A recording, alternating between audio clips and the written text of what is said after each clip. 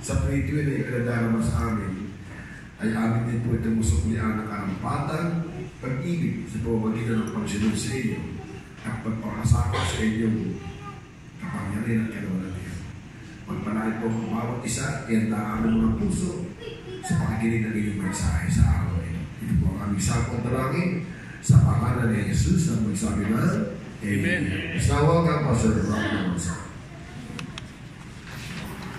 Thank you. Good morning. Good morning. Maligayang Pasko. You know, for businessmen here in the Philippines, Christmas for them, the Christmas season begins when? September, right? Going to the malls, you hear Christmas music.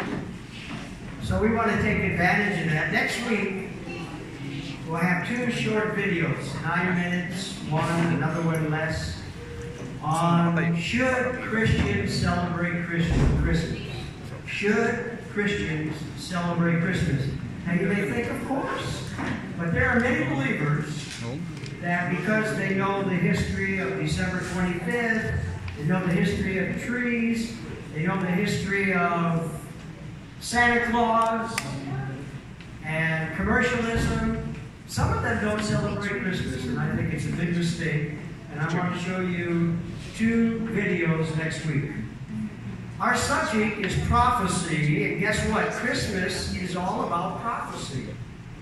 And our name of our subject this morning is The Reason for the Season. The Reason for the Season. Now, there's a lot of pagan practices in Christmas. There's a lot of commercial reasons for Christmas. But Christmas is probably the most important event in history because without Christmas, there would have been no cross. And so it's really an important event. Christmas is a part of prophecy.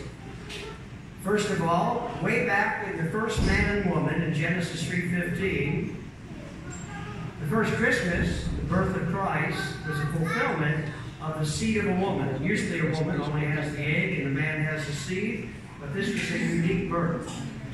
And then the seed of Abraham, he's a descendant of Abraham. And then he's from the tribe of Judah. That's a very interesting story. And then he's, he's a descendant of David. That's important. Notice Isaiah 7:14. Therefore the Lord himself will give you a sign. The Virgin will be with child. and give and call him. Now, first of all, this is very Jewish. Yet, Christmas is for us. You may think Christmas was started by Christianity. It was not. It was started by Jews. It wasn't a story, it was a historical event. Now, all of the traditions of Christmas were started by different Christians, pagans, all kinds of people. But the story itself is biblical. It's inspired by God. It's history. That's what's so unique about Christmas. It's a historical event that happened. The date is not important. All of the commercialism not, is not important. What is important is the true meaning, the true reason for the season. In Micah 5 2, imagine this. But you, Bethlehem, this is 500 years in advance. 500 years. But you, Bethlehem, though you are small among the clans of Judah, out of you will come for me one who will be what? Now, part of that has happened, Bethlehem, but a part of that has not happened. Israel's in the land, but Jesus is not ruler over it physically at this time. He will be physically ruler over Israel in the future. Okay, so the reason for the season. John 18 37. Jesus answers that question. You ready? Jesus answered, You are right. in saying, I'm a king. By the way, that's future. He was not a king when he lived on this earth during the first 33 years of the first advent. In fact, what?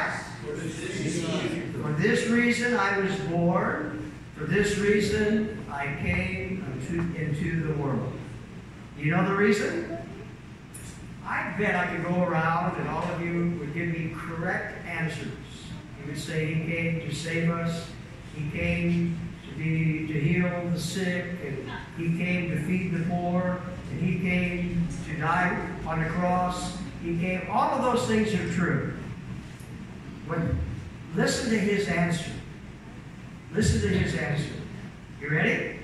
This is the answer of Jesus Christ. To testify to the what? The truth. Is that important? I mean, it's okay to have traditions. I don't care what your tradition is for Christmas this year. Do it and enjoy it. With your family, with your friends. Enjoy it. But at least know the truth, right? You think that's important? Yes. Testify to the truth, everyone on the side of truth does what? One of the reasons for the season, and some people are offended by this, please don't be offended. This comes from Jesus. The reason for the season. Okay? John 3 3. Jesus declared, it's like a. No one can see the kingdom of God unless. Now, Jesus was a Jew, and he was saying this to a Jew, and it's for us. Okay? And by the way, it's impossible on our own, but it, it's so simple with God. We believe in Him, He regenerates us, He makes us spiritually, spiritually alive when we were spiritually dead, and we're born again. That's the reason for the season. Without Him, that wouldn't have happened. Okay, Jesus Christ is the truth. John 4, 24 through 26. God is spirit, and his worshippers must worship him in spirit and in what? Now you may do a lot of things for Christmas. That's okay. Enjoy it. But remember, you only can worship God in what? Truth. So you need, in addition to all the other things you do at Christmas time, you need to worship God in truth. And that's what we're going to do during this Christmas season. Okay, the woman said, I know that Messiah, called Christ, is coming. When he comes, he will explain everything to us. Then Jesus declared, so this is 30 years after his birth, but since he was the Messiah at his birth, he's still the Messiah at age 30, and he's still the Messiah, the promised. The, the word Messiah means the promised Savior of the world, promised Savior of Israel. Israel has a future. Listen to John 14, 6. This is so important. Let's say it together. You ready? One, two, three, go. Jesus answered. I one to the Father. He is the way, and without the way, there is no way of going. He is the truth, and without the truth, there is no way of knowing. And He is the life, and without the life, there's no way of living forever. Right? He's it. And no one goes to heaven, goes to the Father, except through who? Jesus. And that's why Christmas is so important. Because it's the birth of the promised Messiah, the birth of the seed of a woman, which is not heard of. Usually it's the egg fertilized by the seed of a man. But in this case, it was a unique birth. Okay, so we're studying prophecy. Everything about Christmas, listen to me. Everything about Christmas happened in the age of what? In the age of Israel.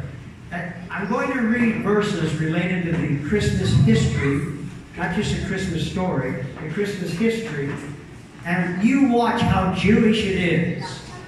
All of the traditions, all of the traditions about Christmas, and I, I'm not criticizing them, okay? Celebrate, enjoy your Christmas. They all came in the church age after the real story of Christmas. Okay? The traditions came after. But the real story is history. And you can, I'm sure you know Santa Claus has nothing to do with Christmas except it's a nice story, right? I mean, I, yep, I'm one of those guys that put a stocking on the fireplace. I'm one of those guys that put cookies so, you know, he can have a snack. And I'm one of those guys that watch my sister put the gifts under the tree, okay? But that's okay, right? That's just a tradition. It's not true, it's not history. But if your children have a tree, enjoy it. But also, also, don't you think you should tell them the truth? The true story, the history of Christmas? Absolutely. And that's why we're studying this subject. Okay, so we sang Great is Thy Faithfulness. And we're in the last days, there's no doubt about that. Actually, for the last 2,000 years, but it has been the last days. But right now, it's probably the last hour of the last day.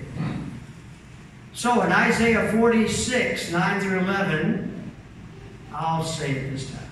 I am God! Not me, but the God of the Old Testament, right? The God of the New Testament, the only God there is. God the Father, God the Son, and God the Holy Spirit. I am God. There's no other. I am God. There's none like me. I make known what? That's why 4,000 years before it happened, God told us what would happen. The seed of a woman, the birth of the promised Savior, the solution to sin. Notice this, verse 10 I make known the end from the beginning.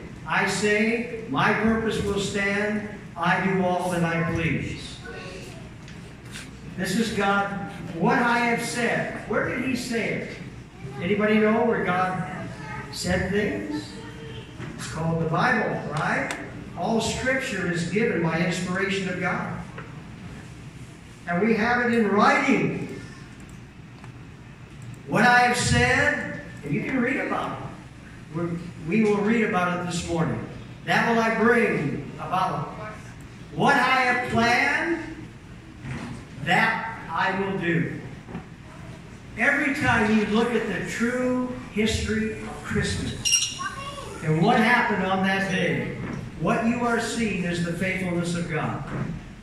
What you are experiencing is the fact that God always, always keeps his promises. No matter how dark it looks, his promises will stand, and he will bring it about. Application the Christmas season and the faithfulness of God in these last days. The Christmas season, I hope during this Christmas season that it will become more meaningful. Especially, we have a group called the Magdalena, Magdalena Survivors. And they're going to teach us how to tell Christmas stories that are based 100% on the Bible, yet in a very nice, easy manner. Both in English, Tagalog will be available. Okay? So, the reason for the season. In Hebrews 10 23 through 25. Now, normally, normally you have a pastor, a teacher, Sunday school teacher. They teach you everything about the Bible and then you suck it in, and that's it. Sit, sour, and soak. What we want you to do this year is not only, it, that's important, by the way. Bible teaching, Bible teachers, they are gifted by God to teach you. And you need to know that background, you need to know all of these things. But you also have a responsibility as an ambassador for Christ. And we want to make this story so transferable, so transferable, that all of you can tell this story in two to four minutes. Boom. You can tell it. You can. What a better time, right? What a better time during this season to say, hey, can I tell you a story about Christmas? I mean, we're not ashamed to say, hey, Santa Claus is coming to town, right? Can't we say, can I tell you a story about Christmas? And then you give them four minutes, two minutes. Let, let us hold steadfast to the hope we, present, we profess, for. Okay, and what should we do? And let us consider how we may do what? I can't think of a greater thing you can do during this season than to share the true story of Christmas in a very simple form, in a very simple way. We will give it to you in your language so you can say it in two to four minutes. That sound good? And you can be an ambassador for Christ. We're challenging you to do that. Let us not give up meeting together, as some are in the habit of doing, but and all the more as we see not only Christmas Day, but who knows? You know what happened this week, right? In a very rich part of the United States, Ventura, California. They call it Thousand Oaks. It's right by Highway 101. Christian universities. Going, remember last, how many of you here were at the Gopi Feast last week? Were you here? Did you see all of our line dancing? Did you see that? Well, every Wednesday night at this place, they had line dancing, country western music line dancing. And somebody went into that place and shot 11 people dead. And the 12th one was a police officer who had been on the force for 29 years. He would have retired in one or two years. He leaves a wife and a son killed, going through the door to save people. That can happen anytime. Or Christ can come back before Christmas, right? So we need to be ready. Okay. Should, Chris, should Christians celebrate Christmas? Next Sunday, I'm going to, during this time, we'll have two short videos and show you the things that are not true about Christmas, but it's okay, it's just tradition, and the very truth of Christmas. Now, why?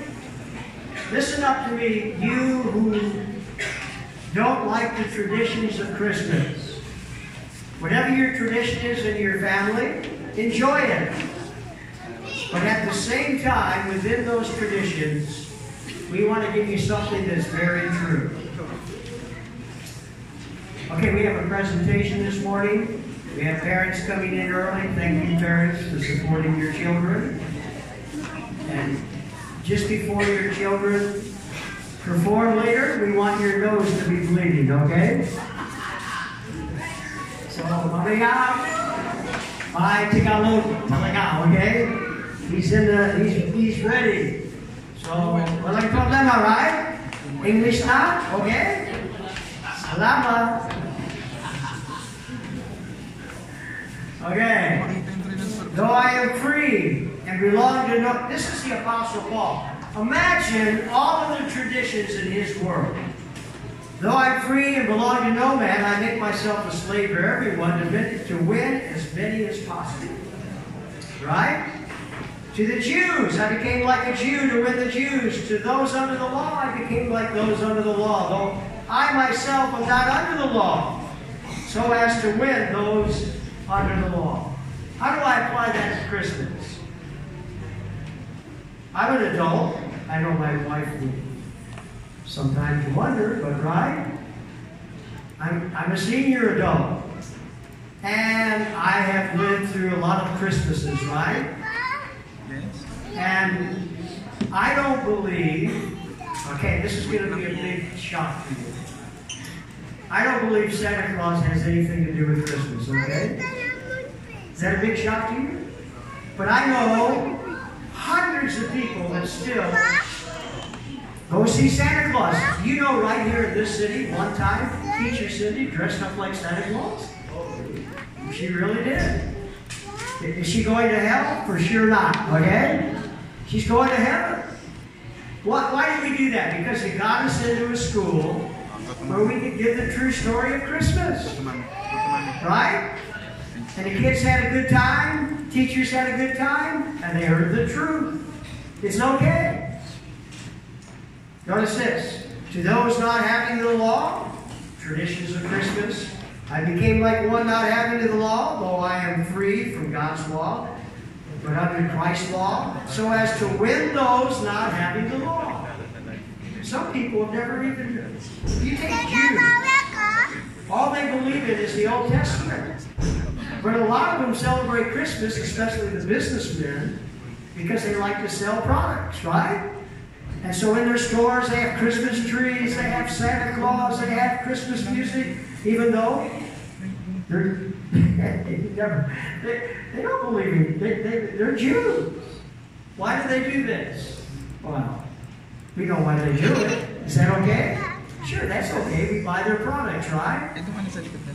But somebody needs to tell them the true story of Christmas. Am I right? Yes. Make sense? Yes. So, to the weak I became weak to win the weak. If you believe that Christmas was on December 25, you're weak. You don't know history. But it's okay. We I don't care what date you celebrate it on. I just want you to know what happened. Right? That's the important thing. I have become all things to all men so that by all possible means I might what? Because that's how you become a believer by hearing the truth, by hearing the true story. I do all these things for the sake of the gospel. Listen to me. If you know the true history of Christmas, it's good news. We exist to share the good news. It's about the Savior, His birth, the fact that He came to save us from our sins. Wow. That's good news. So, last week we told a Christmas story. We told it first of all in English, and then teacher Yanni told it in Tagalog. Later on, if you want the Tagalog version in writing on paper, you see Pedro, Peter, our IT guy, or you see teacher Yanni. We'll give you a copy of the Tagalog version. The reason I told this last week, because I just finished the training. And this is actually the second part. The first part was somebody else's part. So this week, I'm going to introduce the first part. But before I do, let me just go through a couple of parts of this to show you how Jewish this is and how much Christmas is prophecy. Prophecy means God predicted something in advance in writing, inspired by Him, with human writers, in writing, hundreds of years in advance, and it came true just like He predicted. That's prophecy. That's what you will find if you study the Bible. Okay? Eight days later, the child was officially named what? Jesus. Jesus. The parents brought Jesus to the place of worship to present him to the Lord. That day, they met an old righteous man. What, what was he doing? Who had been waiting for the what? Promised Savior for a long time. Okay? When he saw baby Jesus, he took him in his arms and he praised God and he said, Lord, now I am, I am content. I have seen the Savior you have given to the world.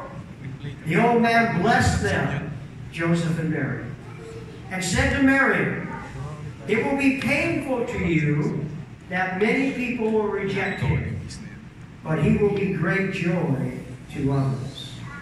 And so, a very old woman named Anna, a spokesperson for God, also was there. She worshiped God day and night. She came along when the old man was talking to Mary and Joseph. And she began thanking God and telling everyone the what? The promised Savior has finally arrived. Predicted 4,000 years in advance in Genesis 3.15. Predicted all through the Old Testament. His exact place of birth, Micah 5.2. The fact that he would be born at the seed of a woman, a virgin, Isaiah 7.14. And last week, teacher Yanni, by the way, This is the hymn of God's story from God's Word. Teacher Yanni gave it in Tagalog. It's available to anyone who wants it. You can tell this story in two to four minutes. And you will have the privilege, you will have the honor. You can honor Jesus Christ, God the Father, by telling the truth about Christmas in any traditional culture. Whatever the, however they celebrate Christmas, walang problema. Just tell them the truth, right? Okay. Now, we've been talking about this guy. Next week, I'm going to show a short video of what. Now, imagine this guy was born in Israel. Israel just came to be a state after 2,000 years in 1948. And it was weak until about 10 years ago. When he was a teenager, he became a believer. Now he's amazing. And he's a he was an officer in the Israeli army. And I want you to, he wrote a book. My wife and I both read this book. Amazing book, The Last Hour. But I want you to hear what somebody that has all the credentials you could possibly have, what he says about this book. Okay? This is from Dr. David Jeremiah. That's a nice biblical name founder and president of Turning Point, senior pastor of Shadow Mountain Community Church in El Cajon, California. That's San Diego. I want you to listen to what he said, okay? This is, I mean, he has all the credentials you can have. High school graduate, college graduate, seminary graduate, senior pastor, all of that. Listen to what he says about this Israeli. He's an American, but he's talking about an Israeli. Last hour, I have known Amir Tsarfati for two decades. That's 20 years, ladies and gentlemen. I had the privilege of traveling all over Israel with him when I was leading a tour, and he was leading the tour guides. Amir has also spoken to the church I pastor in San Diego, California. I read the last hour in one sitting It's pretty good. Pretty, it's a pretty big book. Amir's defense of the uniqueness of Israel in God's plan of redemption and his arguments against replacing Israel with the church. Now, he has a church. He believes in the church age. But he also believes that Israel has a future. There are many people that think God has forsaken Israel. We call it replacement theology. It's not true. Say this Israel has a future. Go. Israel has a future. Absolutely. Absolutely. And we already see the beginning of it right now. Even though there's probably more Filipino believers in Israel than Israeli believers, many millions will believe in the future. And Israel has a future. Okay, so Amir also wrote a paper, and I had 16 pages long. I'm only going to give you one slide. But it's very interesting. And this sets up the story that we're going to begin today. Okay? After 400 years of silence, since the end of the Old Testament, we hear of two names Zechariah and Elizabeth, husband and wife. They're old, they can never have children. She becomes pregnant. She has a son. You know his name? John. He becomes John the Baptizer, okay? Now, listen to the meaning of their name. Zechariah means what? He never forgets his promise. Yeah. Elizabeth means I made a promise. I made a commitment. I had prophets write it down. I said he's going to be born in Bethlehem. I said this. I said this. It's going to happen. Both names, Zechariah and Elizabeth, are a token of the hope we can always have, even the times that seem like silence from God's side. Can you imagine how long Zechariah and Elizabeth prayed for a baby, and it didn't come for a long, long time. And then when it came, it was such a blessing. Look at this. That he, their what is that he they're faithful to his promises and remembers all of them as he has sworn. Now I added this. This age couple who couldn't have children all their life had a what? A miracle child, John. They continued to trust God and promises during some very dark times. Elizabeth was a cousin of who? Mary, the mother of Jesus, and encouraged her during her unique pregnancy. This was a very unique pregnancy, that's for sure. Okay? I'm doing good. So, I gave you a story last week. It was called The Birth of Jesus and His Dedication. That's actually the second story of Christmas. Today, I'm just going to give you the scripture of the first story. Next week, this week, our Magdalena graduates, together with me and teacher Cindy, we're going to write the English version and the Tagalog version. So by next Sunday, you'll have two stories for the Christmas season. Okay? Say yes. Okay. I mean, you can talk about everything else.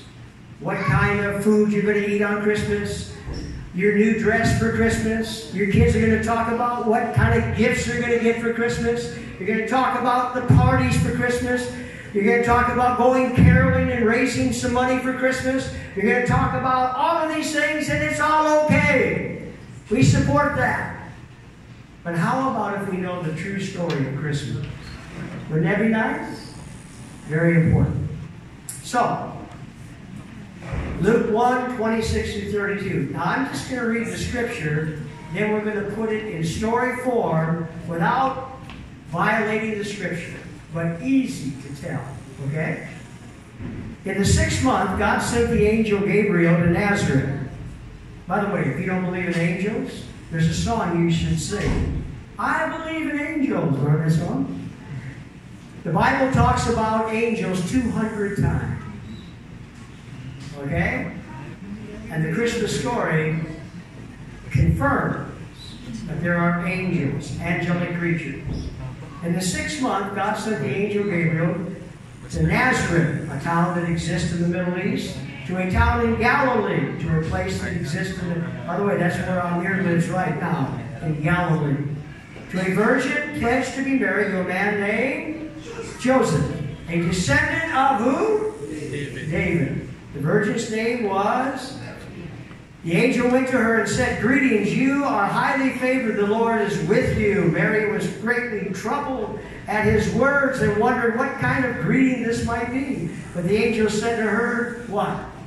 Do not be afraid, Mary. You have found favor with God. You will be with child and give birth to a son, and you are to give him the name. He will be great and will be called the Son of the Most High. How will this be? Mary asked. The angel, since I'm a virgin. The angel answered, The Holy Spirit will come upon you, the power of the Most High will overshadow you, so that the Holy One to be born will be called the what? Son of God. Even, listen to this now, even Elizabeth, your relative, is going to have a child in her old age. The birth of Abraham's son Isaac was a miracle. The birth of Elizabeth's son John was a miracle. And the birth of Mary and Joseph's son Jesus was a miracle. And if you don't believe in miracles, then when you die, you think you're dead. But the fact is, the moment you die, you're going to spend eternity somewhere. And it's nice to be ready. If you don't believe in miracles, there's no resurrection. If you don't believe in miracles, there's no eternity with God. If you don't believe in miracles, I don't know how you can ride on this earth that's traveling so fast. No stand, going through space. And she said, and she who was said to be barren in her sixth month, for nothing is impossible. Let's say that, verse 37. Everyone, one, two, three, go. Only Pastor Dan said this. Come on. Give me a break, okay? Verse 37. One, two, three, go. For nothing is impossible with God. Thank you. Okay. I am the Lord's servant, Mary answered. May it be as you have said. Then the angel left her. At that time, Mary got ready and hurried down to the hill country of what? Judea. Is in the Middle East right now. For 2,000 years it was barren. Now it's big. Okay. And when Elizabeth heard Mary's greetings, the baby leaped in her womb, and Elizabeth was filled with the Holy Spirit. In a loud voice, she exclaimed, Blessed are you among women, and blessed is the child you will bear. But why am I so favored? That's a good question. That the mother of my Lord should come to, through me. As soon as the sound of your greeting reached my ears, the baby in my womb leaped for joy. Okay? So, and Mary said, My soul glorifies the Lord, and my spirit rejoices in God, my Savior. For he has been mindful of the humble state of his servant. From now on, all generations will call me blessed. For the mighty one who has done great things for me, holy is his name. His mercy extends to all those who fear him from generation to generation. And Mary stayed with Elizabeth, her cousin, for about three months and then returned home. Why do you think she did that? Because she needed encouragement. She needed someone who understood this kind of situation. You can imagine how Joseph felt. This is how the birth of Jesus Christ came about. His mother Mary was pledged to be married to Joseph, but before they came together, she was found to be with child through the Holy Spirit because Joseph, her husband, was a righteous man and did not want to expose her to public disgrace. He had a mind to do what? Divorce her quietly. But after he had considered this, an angel of the Lord appeared to him in a dream and said, Joseph, son of David, do not be afraid to take Mary home as your wife because what is conceived in her is from the Holy Spirit. Everybody, this is the truth. This is Christmas. This is the real story. Enjoy your tradition. But let's read this together. You ready? One, two, three. Verse 21. She will Give birth to a son. You are to give him the name Because he will save his people from their sins. Father, we thank you for our opportunity this morning to worship you in spirit and in truth. We thank you for these parents that go to a different, maybe a strange church, just to support their kids. And I pray this morning's service would be an encouragement to them, a blessing to them. We, we pray for their children and their teachers, that what they do this morning will bring honor to you. Because you love. You said, don't keep the little children from me. And Jesus picked little children up into his arms and blessed them. And I pray that that would happen this morning. In Christ's name, amen. Can you all stand up and